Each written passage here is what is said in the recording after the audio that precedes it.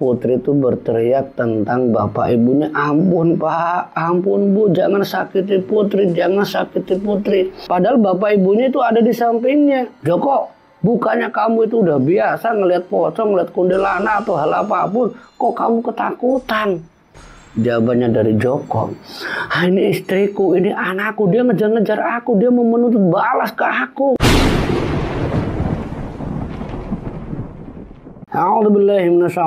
Bismillahirrahmanirrahim. Assalamualaikum warahmatullahi wabarakatuh. Alhamdulillah wa syukurillah wa salatu wassalamu ala rasulillah amma ba'du. Jumpa kembali di channel Selamat Tuntung bersama Padi dan seluruh kru tim channel Selamat Tuntung. Semoga kita dan anda semuanya selalu dalam lindungan Allah subhanahu wa ta'ala. Dicurahkan segala keberkahan, nikmat, sehat walafiat, dilancarkan rezekinya, dipanjang umurnya, dan dimudahkan dalam segala urusan. Amin, amin ya robbal alamin. Di kesempatan kali ini, Pak akan mencoba menceritakan satu kisah yang tak lain masih terkait dengan pesugihan. Yang mana dalam cerita ini ada sebuah kejadian tentang salah satu anggota keluarga yang ditemukan dalam keadaan meninggal setelah dia mengalami kegilaan. Nah ternyata di dalam cerita ini ada terkaitan dengan pesugihan anak kandung. Nah bagaimana kelengkapan ceritanya? Tidak usah lama-lama kita langsung masuk saja ke cerita selamat untung. Seperti biasanya, walaupun tanpa kopi, semoga tetap mana mantap.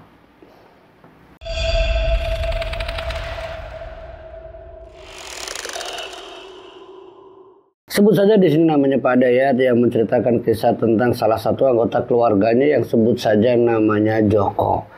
Dalam kisah yang diceritakan oleh Pak Dayat terkait dengan almarhum Joko. Joko ini ditemukan dalam keadaan yang sudah meninggal dunia.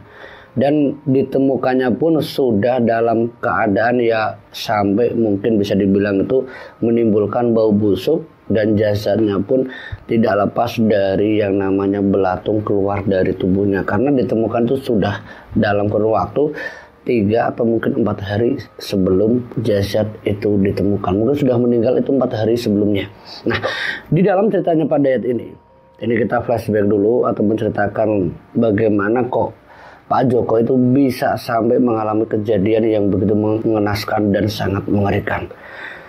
Kejadian ini mungkin terkait dengan kekayaan yang dimiliki oleh Pak Joko ini secara tidak wajar. Karena Pak Joko ini bukan dari orang yang berada ataupun dari orang yang berpendidikan dan dia pun atau Pak Joko ini bukan seorang pengusaha tapi ada satu hal yang sangat janggal ketika Pak Joko dan istrinya yang sebut saja di sini namanya Lasmi. Nah, kedua pasangan suami istri ini, mereka berdua itu bisa dibilang ya latar belakang keluarganya itu ya sangat miris, memprihatinkan. Dia punya anak satu perempuan, usianya masih kecil kurang lebihnya, dia punya belum lima tahun perkiraan usia dari anaknya waktu itu. Ketika sebuah keluarga, yaitu Pak Joko dan Bu Lasmi dengan anaknya yang sebut saja di sini namanya Putri, mereka itu tinggal di sebuah rumah kecil yang itu pun dari warisan almarhum bapak ibunya Lasmi bukan dari hasil kerja keras dari Joko jadi mereka tinggal di rumah kecil dengan kehadiran anak yang namanya Putri tadi. Mereka itu bisa dibilang hidupnya itu dalam keadaan yang sangat pas-pasan. Untuk keseharian saja makan itu kadang mereka pun bisa dibilang makan sehari sekali. Karena yang diketahui oleh Pak Daya. Lewat beberapa keluarganya yang lain, Pak Daya dan keluarganya yang lain itu sering membantu yang tak lain secara beras, sembako lah. Tapi ini tidak membuat Joko itu berpikir bagaimana caranya agar Lasmi dan Putri itu bisa punya masa depan. Karena yang diketahui oleh Padaya, Joko ini bukan orang yang pekerja keras. Orangnya itu suka hal-hal yang bersifat mistis. Jadi angan-angan yang terlalu berlebihan lah. Karena seringnya Joko keluar itu dengan salah satu temennya Dayat yang sebut saja di sini namanya Pak Hasim. Nah Pak Hasim itu sering menceritakan tentang salah satu anggota keluarganya Dayat yaitu Pak Joko ini. Joko itu sering mendatangi ke tempat-tempat angker. Nah dari keterangan Pak Hasim ini kalau Joko itu obsesi atau keinginannya itu ingin mendapatkan harta karun, harta yang dari gaib. Dan itu pun butuh ditirakati, terutama itu kan harus mengorbankan waktu. Nah inilah yang membuat keluarganya Joko yang punya istri namanya Lasmi dan juga anaknya Putri itu ya secara finansial tentunya sangat-sangat hancur. Ya karena Pak Joko lebih asik dengan dunianya, dengan kesibukannya berharap kalau ada uang gaib yang bisa menjadikan dirinya spontan itu jadi kaya raya. Dan itu pun bukan hanya sekali dua kali yang namanya Joko itu melakukan tirakat-tirakat konyol. Pada itu bilang konyol karena apa? Ya tidak pernah ada hasilnya. Itu pun diceritakan dari salah satu temannya Pak yang namanya Hasim. Ini kejadiannya mungkin bisa dibilang tiga tahun atau empat tahun semenjak pernikahan antara Joko dan Lasmi. Memang Joko itu dikenal dengan hal-hal yang bersifat mistis tadi. Tapi tidak ada satupun yang berhasil dalam kurun waktu empat tahun. Ini semenjak anaknya itu lahir.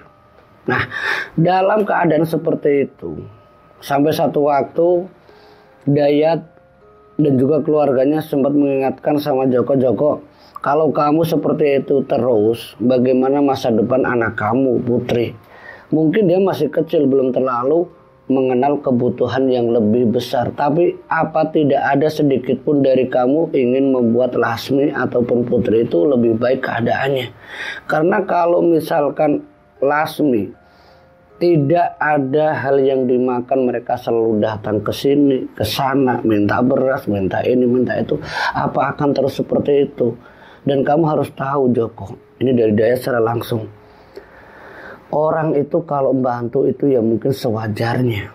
Tapi kalau lama kelamaan kamu bergantung pada saudaramu sendiri seperti ini, mungkin saudaramu juga akan jenuh. Apalagi melihat kamu yang sebagai seorang suami itu tidak tanggung jawab. Mendapat saran daripada ya. Joko ini bukannya menerima, justru malah menghardik Pak Dayat.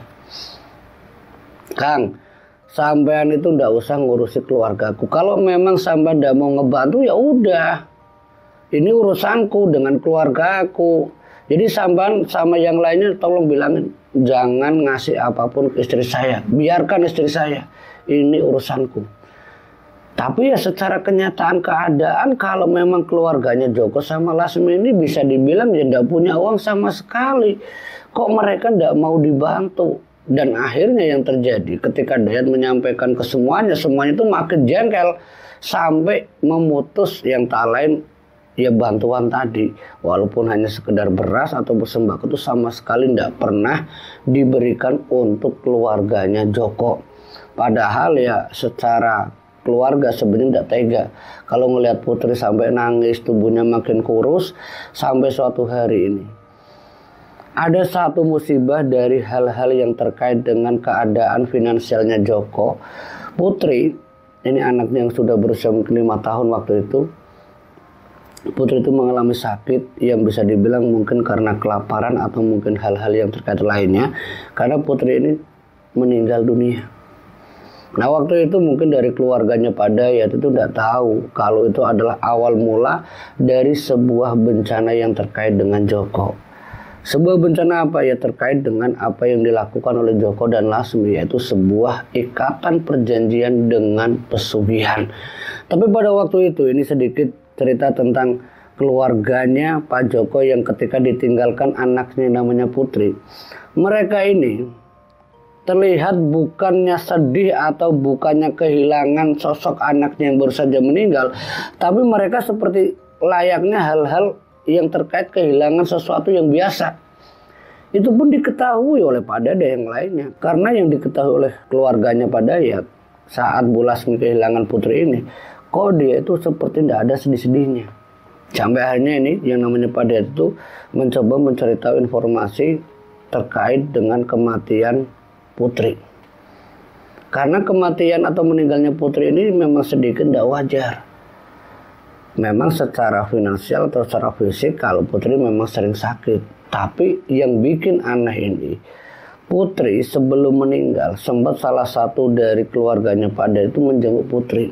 Putri itu mengalami hal-hal yang bisa dibilang itu seperti kerasukan yang tiba-tiba pikirannya kosong dan pada malam harinya sebelum ajal menjemput yang namanya Putri malam itu salah satu anggota keluarganya pada itu melihat secara langsung kalau putri itu berteriak tentang bapak ibunya ampun pak ampun bu jangan sakiti putri jangan sakiti putri. Padahal bapak ibunya itu ada di sampingnya ada di sampingnya tapi teriakan dan rintihan sakit dari putri anak kandung dari Pak Joko dan juga Bu Lasmi yang tak bisa dicerna secara akal kok anak itu berteriak ampun bu jangan sakiti putri bu. Sampai nafas itu tiba-tiba terhenti dan anak itu pun meninggal dunia.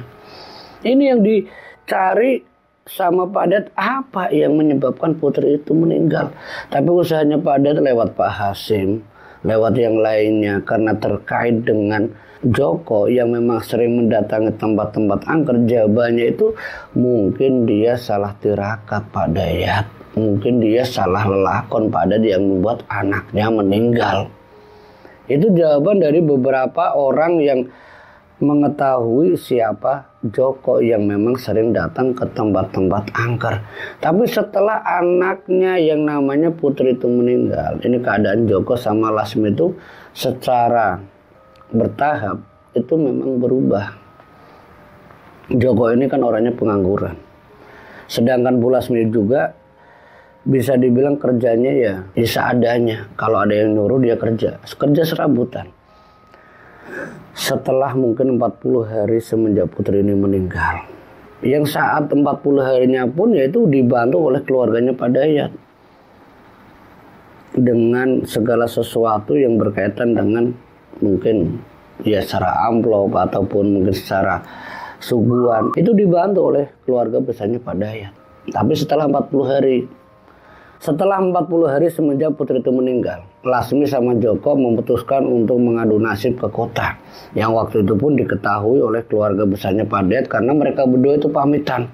Jadi mereka, Joko sama Lasmi itu mengadu nasib ke kota. Tapi dalam kurun waktu satu bulan lebih, mereka udah balik. Waktu itu mereka ziarah ke makam ke anaknya, tapi di sisi lain ada hal yang sangat luar biasa dari Joko karena dia mampu merobohkan rumah dan sekaligus membangun rumah yang baru. Karena waktu itu rumahnya itu terbilang rumah yang bukan rumah ya, apa adanya lah rumah warisan orang tuanya dari Mbak Lasmi. Rumah itu dirobohkan dan ya lewat tukang yang tidak jauh dari orang-orang sekitar. Itu dari tukang itu pada mencari tahu rumah itu mau dibangun kayak apa dan ternyata rumah itu memang direncanakan oleh Pak Joko. Itu rumahnya agak luas karena memang samping-sampingnya juga masih milik warisan dari almarhum orang tuanya Lasmi. Jadi diperlebar. Rumah itu bukan rumah dua lantai enggak tapi rumah itu terbilang rumah yang sangat luas lah. Dibangun semuanya dalam kurun waktu mungkin empat bulan lebih itu baru selesai dan rumah itu terlihat mewah. Nah yang menjadi pertanyaan daripada ada sekeluarga. Joko itu usahanya apa? Kok dia bisa seketika bisa bangun rumah yang totalnya itu mungkin kalau ditaksir bisa ratusan juta. Sedangkan karakter atau perilakunya Joko dia itu bukan pekerja keras. Ini uang dari mana? Ini yang menjadi pertanyaan sampai akhirnya salah satu anggota keluarganya Pak Dayat yang sebut saja di sini namanya Bu Linda ya. Bu Linda itu memang sengaja ingin ketemu sama Lasmi. Nah, ketika ketemu sama Lasmi di kota, mereka juga sudah tinggal di sebuah perumahan. Ini yang membuat Mbak Linda, di salah satu adiknya pada itu benar-benar tidak percaya bagaimana mungkin Lasmi bisa punya rumah di kota dan di kampung. Nah, waktu Linda ini nyari alamat mutar-mutar karena memang diketahui sewaktu Joko Pola itu cuma ngasih alamat ini rumahku di kota. Nah ini menjadi hal-hal yang dipertanyakan rumah lagi. Ternyata setelah sampai di kota di satu perumahan, Linda ini mendapatkan sebuah jawaban dari Lasmi kalau suaminya itu sudah menjadi seorang pengusaha yang punya puluhan karyawan dan usahanya pun bukan cuma satu, ada beberapa cabang usaha. Ini yang membuat Linda pun hanya mempertanyakan dari mana asal usulnya kok sampai bisa sukses seperti ini Mbak Lasmi. Jawabannya Lasmi itu urusan suamiku kalau modalnya mungkin dulu dia pernah bilang itu dari hasil dia dulu tirakat dan kesuksesannya memang tidak lepas dari apa yang dia dapat ketika dulu dia itu tirakat di sebuah tempat keramat. Dan dia dapatkan harta benda yang hanya digunakan untuk modal usaha. Dan inilah hasilnya rumah yang saya huni dan rumah yang baru saya bangun di kampung yang nantinya kalau saya dikasih anak ya untuk anak-anakku kelak. Itu jawaban dari Lasmi. Mungkin secara akal sehat ya bisa dipercaya tapi secara logikanya juga memangnya ada tempat keramat yang memberikan harta benda tanpa perjanjian. Ini yang menjadi masalah dan pikirannya si Linda yang hanya menyampaikan ke Dayat, ke kakaknya Kang Mbak Lasmi itu ternyata dia dapatkan modal usaha itu dari suaminya yang melakukan tirakat. Katanya dia dapatkan harta benda, harta karun yang hanya bisa buat modal usaha. Mendapat informasi dari Linda, Pak Dayat mencoba memahami dan menelusuri apakah mungkin kalau Joko itu mendapatkan harta benda itu dari hal-hal gaib Nah Dayat untuk mengetahui hal tersebut mungkin atau tidaknya itu mendatangi Hasim dan ketika ketemu dengan Pak Hasim inilah Pak Dayat mencoba mencari tahu apakah benar kalau Joko itu benar-benar dapatkan harta karun. Jawaban dari Hasim, kalau mendapatkan harta gaib itu memang bisa, tapi bisa itu pun harus ada timbal baliknya. Maksud kamu timbal balik yang bagaimana Hasim? Ya timbal baliklah Kang, tidak mungkin juga harta karun itu muncul tanpa usaha yang lebih dan juga ada hal-hal yang harus disepakati. Apa benar seperti itu? Nah terus kamu dapatkan informasi tidak kalau Joko itu dapatnya di mana? Setahu saya Kang Dayat, yang namanya Joko itu pernah datang ke salah satu tempat keramat yang kalau tidak salah itu kuncinya itu Mbah Sugeng tapi kamu tahu Pak Hasim, di mana tempat Mbah Sugeng itu? Ya saya pernah ke sana sekali. Saya boleh tidak minta tolong sama kamu Hasim, antar aku ke sana. Untuk apa Kang Dayat? Ya aku pengen tahu, soalnya ini terkait dengan hal-hal yang tak wajar yang dialami oleh keluarganya Joko dan juga istrinya Lasmi. Soalnya kan kamu tahu putri anaknya itu kan meninggal dunia. Saya khawatir kalau putri itu meninggal dikarenakan sebagai syarat seperti apa yang kamu jelaskan. Mungkin juga Kang, ya udah saya nanti antar sampean ke rumahnya Mbah Sugeng. Nah beberapa hari setelahnya ketika Pak Asim sudah longgar waktunya, mereka berdua berangkat ke tempat Mbah Sugeng yang lumayan jauh ini perjalanannya. Setelah ketemu dengan Mbah Sugeng, Pak Hasim pun menanyakan tentang Joko. Mbah, permisi Mbah, niat saya ke sini Mbah, apakah si Mbah pernah ngebantu orang ataupun ada tamu yang namanya Joko? Joko, Joko, diinget-inget sama Mbah Sugeng ini. Joko, banyak sih yang namanya Joko. Akhirnya Pak Dajang bilang sama Mbah Sugeng begini Mbah, orangnya kayak gini, kayak gini dengan ciri-ciri khusus dan juga dengan foto yang dibawa oleh Kang Dayat. Diserahkan foto itu ke Mbah Sugeng. Oh ini, ini ya benar. Dia pernah datang mungkin belum lama sekitar setengah tahun yang lalu kalau tidak salah. Jadi pernah ke sini Mbah. Iya dan dia juga berhasil. Masnya berhasil gimana Mbah? Gini loh. Si Mbah Sugeng mulai menceritakan. Joko ini yang orang ada dalam foto ini, dia itu datang ke sini menanyakan tentang tempat keramat awalnya. Nah, saya jelaskan tempat keramat ini ini tidak sembarang orang bisa melakukan tirakat.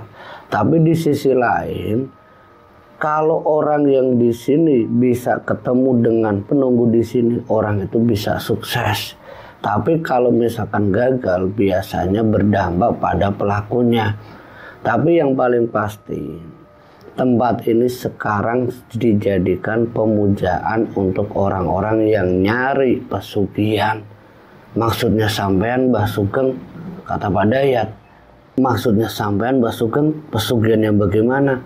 Ya soalnya dulu Joko kan tadinya mau tirakat Nah di sini kan dijelaskan kalau di sini itu bisa dijadikan tempat pesugihan. Nah waktu itu dia itu langsung bilang kayak gini sama Mbah Sugeng, Mbah bisa ndak Mbah orang kayak saya ngelakuin pesugihan? Ya siapa pun bisa, kata Mbah Sugeng. Siapa pun itu bisa, yang penting ada hal-hal yang harus kamu sepakati dan kesepakatan itu pun ada di saat kamu lagi tirakat. Jadi Simba tidak tahu pasti nanti kesepakatannya apa.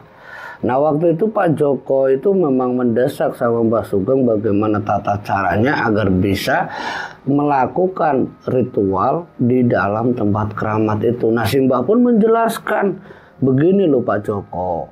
Kalau sampean itu mau tirakat, yang pertama sampean puasa dulu setelah puasa sudah dilakukan, baru sampean bisa masuk ke dalam tempat tersebut. Nah, setelah masuk tempat tersebut pun ada beberapa hal yang harus Pak Joko pahami. Mantranya, bacaan yang harus dibaca, keinginan atau permintaannya apa. Nah, itu pun tidak mudah nanti di dalam tempat itu yang namanya gangguan ini ujian yaitu macam-macam. Jadi jangan sembarangan orang mau tirakat itu tidak mudah. Iya mbah. Nah terus gimana mbah? Tanya Pak Dayat ini. Mbah Sugeng kembali melanjutkan cerita tentang Joko yang sudah tirakat ya. Ketika Joko itu tirakat Mbah Sugeng itu ada di rumah. Yang memantau saja Joko itu kuat apa enggak? Soalnya dia itu kan maunya dapat pesugihan.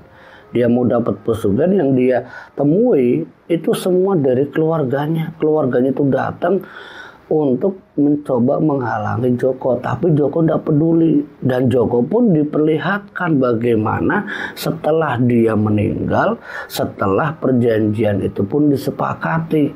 Nah, memang kesepakatannya apa, Mbah? Kalau kesepakatan itu ya, setahunya saya dia itu menggendong anak kecil, perempuan dan anak itu diserahkan ke penunggunya ke sesembahannya. Nah anak itu pun diserahkan dan diambil sama penunggu itu dan Pak Joko meneruskan tirakatnya. Nah tirakat yang dilakukan oleh Pak Joko itu kurang lebih itu sampai 21 hari. Jadi dia memang di sini itu ya hampir satu bulan.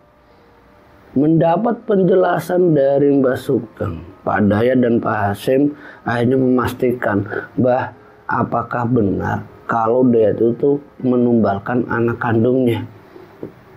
Iya benar. Dia menumbalkan anak kandungnya. Soalnya yang saya lihat dia menyerahkan anak kecil perempuan diserahkan ke sesembahannya. Ya sudah pasti dia menumbalkan anak kandungnya. Nah terus mbah untuk bisa sukses atau dapat kekayaan itu dari mana mbak dia menceritakan dapat harta karun mbak di tempat keramat oh soal harta benda harta benda itu yang tidak ada di sini tapi harta benda itu akan didapatkan setelah dia ritual itu sampai tiga kali di setiap Sabtu Kliwon. Jadi ritualnya pun di rumahnya dia, bukan di sini lagi. Tapi kalau setiap tahun ya dia pasti akan datang ke sini untuk ritual selanjutnya yaitu ritual kesepakatan kedua dan seterusnya. Jadi tiap tahun ya harus ke sini. Oh gitu ya Mbah. Jadi saya minta maaf ini Mbah kata Pak Dayat kalau saya memang mencari tahu siapa sebenarnya Joko dan bagaimana dia sukses. Jadi sudah pasti kalau dia itu pesugihan Mbah. Iya. Tapi kamu harus tahu pesugihan ini yang namanya si Joko tadi itu dia itu pasti akan mengalami hal-hal yang bisa dibilang sangat fatal. Kenapa Mbah? Soalnya gini, dia itu kan punya anak katanya cuma satu. Bener apa enggak? Iya Mbah. Nah kalau misalkan dia enggak punya anak lagi, nanti paling istrinya atau enggak nanti si Joko soalnya yang Simbah ketahui kesepakatan itu masih terkait dengan keluarganya ya antara pelaku istri, anak itu sudah pasti. Jadi ya untuk tumbal keduanya itu dari keluarganya. Kalau dia mungkin punya anak lagi ya mungkin anak keduanya, tapi ya nggak tahu lah. Kayaknya sih mungkin istrinya yang kedua ini pasti dia datang tahun depan. Mendengar penjelasan yang secara lengkap dari Mbah Sugeng, Pak Dayat sama Hasim balik. Mbah, saya terima kasih udah dapat informasi dari Simba. Saya permisi dulu.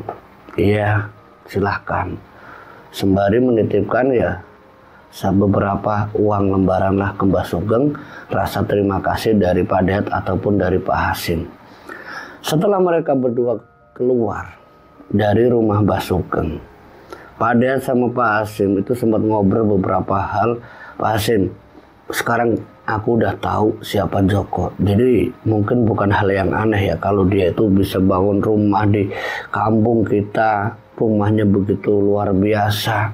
Di kota kata Linda adikku dia juga sudah punya uang banyak sampai punya beberapa cabang usaha dan rumahnya di perumahan juga ada. Ya wajar lah Kang Dayat namanya juga orang pesugihan. Tapi kok nggak terbayang yang ngerinya kalau nanti dia harus nyerahin tumbal keduanya. Ya itu urusan dia lah. Kita lihat aja nanti. Pada sampai Pak Hasim pun hanya pulang ke rumahnya masing-masing. Nah usahanya Pak Daya untuk bisa menghentikan agar tidak ada korban kedua dan seterusnya Pak Daya itu mencoba mendatangi Lasmi bersama Linda Nah, lewat Linda inilah Linda menjelaskan ke Lasmi, Mbak, kalau sampean tahu ndak bahwa harta gaib yang didapatkan suaminya Mbak itu bukan dari tirakat yang dilakukan suaminya sampean Mbak Lasmi. Maksud kamu apa ini Linda? Tiba-tiba ngomong seperti itu. Begini Mbak Lasmi. Sampean percaya atau tidak? Kalau ternyata dibalik meninggalnya putri itu ada kaitannya dengan perjanjian yang dilakukan oleh suami kamu yang namanya Joko. Kalian itu jangan nuduh kami berdua ya. Putri dulu meninggal itu karena kalian membiarkan anakku kelaparan. Itu dari Lasmi ngomong seperti itu. Tidak ada kaitannya dengan perjanjian ini itu dan sebagainya. Kalau kalian mau ngomong kayak gini mendingan pergi.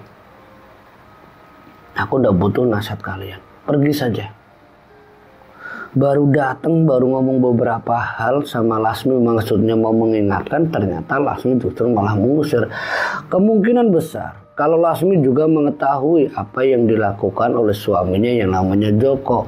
Jadi mereka berdua seperti sepakat melakukan ritual pesugihan tumbal anak kandung. Nah, dari apa yang diketahui oleh Pak Dayat dan juga Linda, mereka itu ketika diusir ini, diusir dari rumahnya Lasmi, Ketika Lasmi ini benar-benar naik pitam, dia emosi yang sempat membuat Linda sama Pada itu harus pergi dari rumah Lasmi. Mereka berdua pun akhirnya balik kampung dan membiarkan Lasmi dan Joko meneruskan pesugihannya. Nah selang beberapa bulan, beberapa waktu ketika Pak Dayat yang sudah menduga akan adanya korban kedua yang tak lain Bu Lasmi istrinya Joko itu benar-benar terjadi.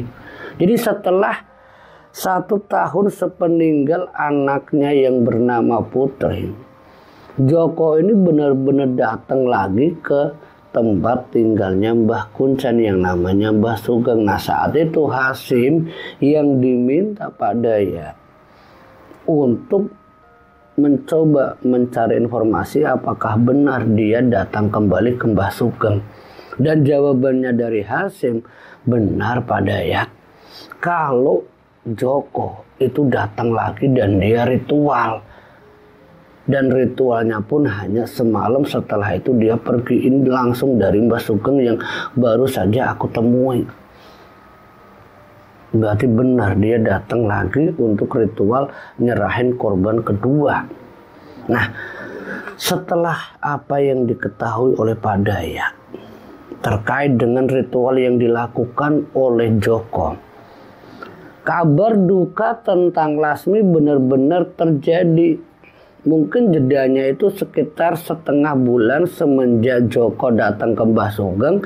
Mungkin pada setengah bulan itu tidak ada kabar apa-apa terkait dengan korban kedua. Tapi setelah setengah bulan ditunggu oleh Linda ataupun Padayat Lasmi meninggal dunia dan itu pun diketahui oleh salah satu pekerja di rumahnya Pak Joko. Jadi ada informasi yang secara langsung diterima oleh Linda bahwa kabar tentang Lasmi meninggal itu nyata. Nah mereka berdua itu langsung menuju ke kota di mana Lasmi ini meninggal dan itu benar-benar nyata kalau Lasmi sudah tiada dan waktu datangnya ini mereka sudah terlambat karena Lasmi sudah dimakamkan di sekitar area perumahan. Ini yang membuat keadaan waktu itu ya Joko hanya sebatang kara. Nah semenjak kedatangan Pak Joko sama Linda dan seluruh anggota keluarganya untuk bertaksiah yaitu mengantar Lasmi ke liang lahat tapi waktu itu seluruh anggota keluarganya itu tidak mengizinkan Joko memakamkan istrinya itu di lingkungan perumahan. Tapi meminta untuk dibawa ke kampung halamannya yang tak lain dimakamkan di samping anaknya.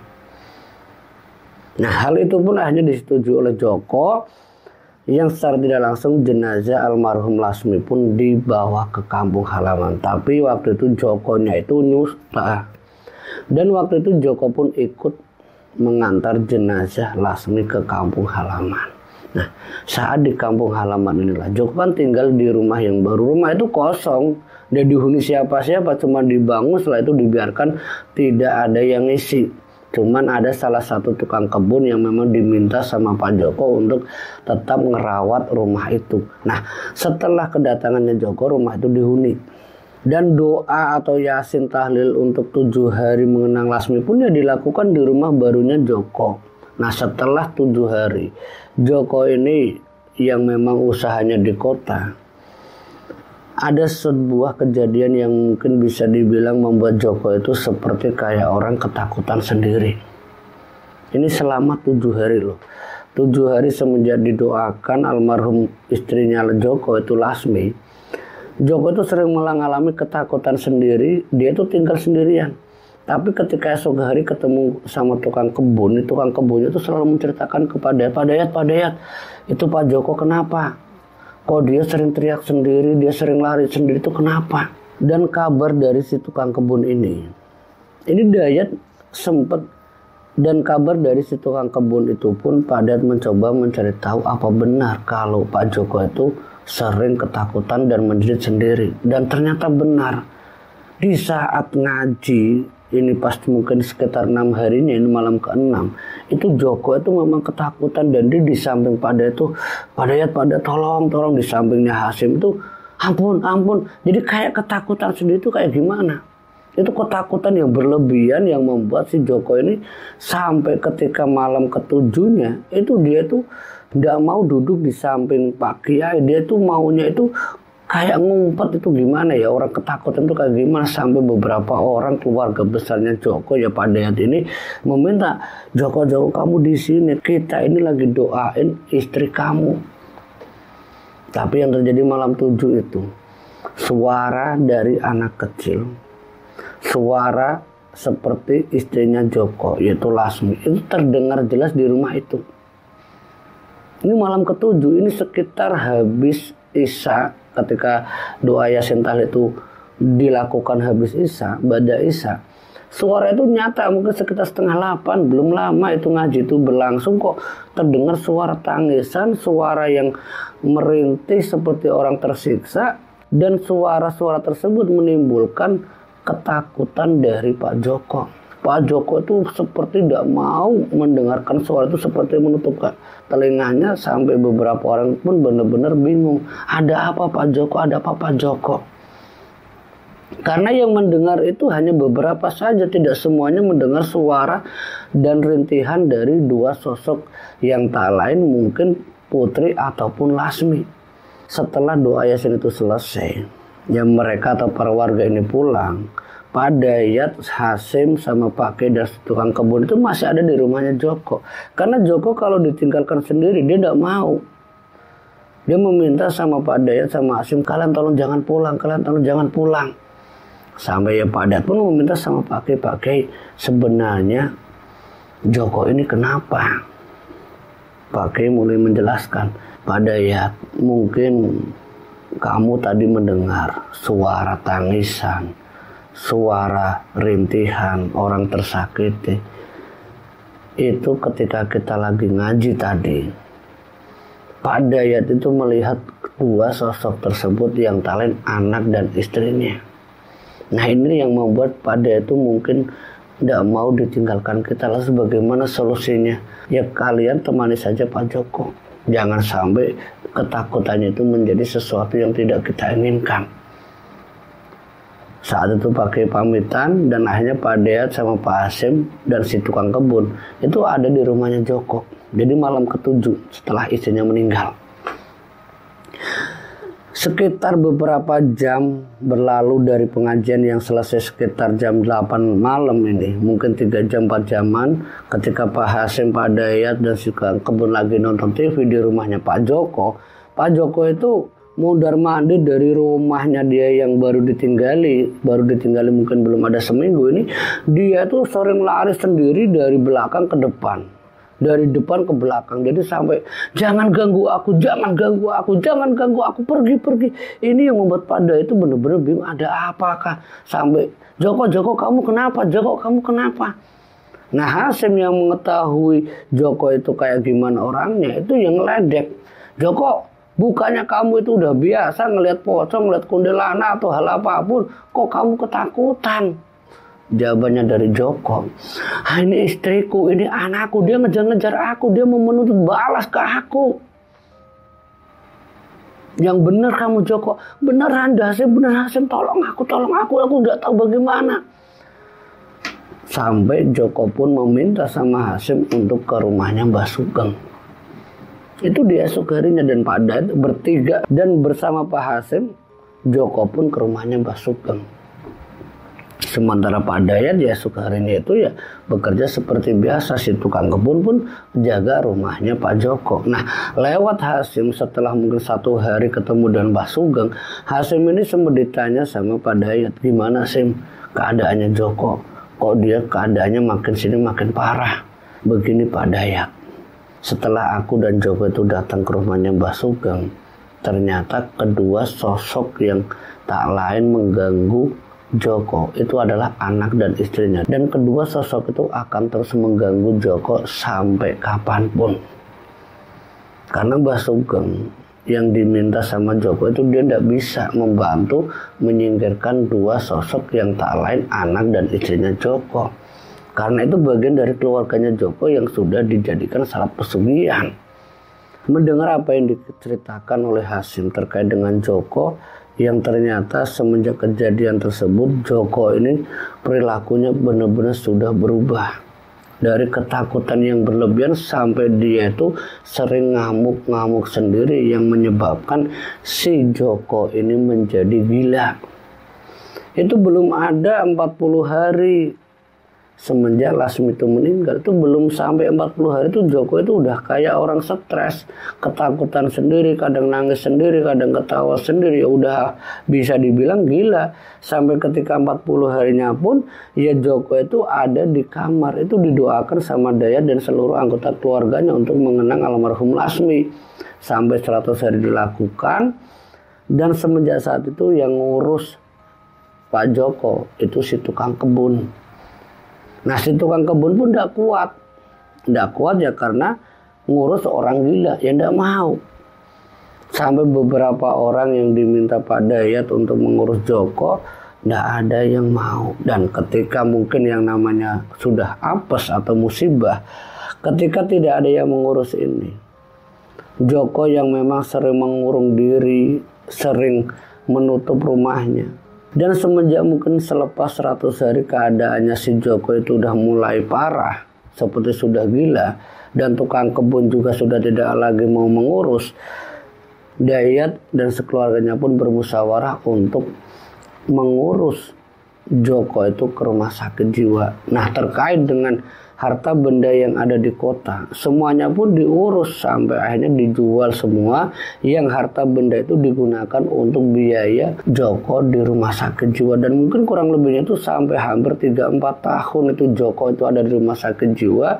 Sampai keadaannya itu sudah katanya mulai membaik sampai Joko pun bisa dipulangkan ke rumah. Itu sudah diterapi di rumah sakit jiwa itu hampir 4 tahunan tapi ketika sampai di rumah ini yang setahunnya Dayat, Hasim dan warga sekitar atau keluarga dekatnya ini kalau Joko itu udah waras ternyata ketika di rumahnya inilah sebuah petaka yang benar-benar nyata dialami Joko Joko yang dinyatakan sudah mending ketika di rumah sampai seminggu itu tidak pernah kelihatan. Dan ternyata ketika ditemukan itu pun dari asal usulnya bau busuk yang keluar dari rumahnya Joko. Itu pun dari tetangga. Ketika bau busuk bau bangkai ini benar-benar mengganggu di lingkungan sekitar rumahnya Joko itu laporannya kepada nah pada ini langsung menuju ke rumahnya Joko dan keadaan rumahnya itu terkunci ketika terpaksa dibuka karena bau itu sudah menyengat banget. Ketika dibuka didobrak itu disebut dipanggil Joko Joko kamu di mana? Pada ayat ini coba cari sendiri ketika masuk ke salah satu kamar ternyata Joko sudah dalam keadaan membusuk. Tulangnya sudah bagian tangannya sudah ada yang seperti keluar belatung itu sudah kayak ya berbau busuknya itu mungkin sudah empat atau lima hari.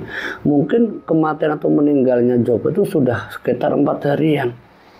Dan itu pun akhirnya ditelusuri lewat pihak yang berwajib kalau Joko itu meninggal dalam keadaan dia bisa dibilang mungkin bunuh diri atau apa. Karena dari ada bekas mungkin secara visum atau apa dari penjelasan pihak yang berwajib kalau penyebab kematiannya Pak Joko itu tak lepas dari dia yang mengakhiri hidupnya sendiri. Kemungkinan besar itu dari bunuh diri. Dan semenjak kejadian tersebut mungkin itulah akhir tragis dari pelaku pesugihan yang sudah tega menumbalkan anak dan istrinya. Semoga dari kisah ini kita bisa ambil hikmah dan pelajarannya. Saya pada akhirul kalam. Wassalamualaikum warahmatullahi wabarakatuh.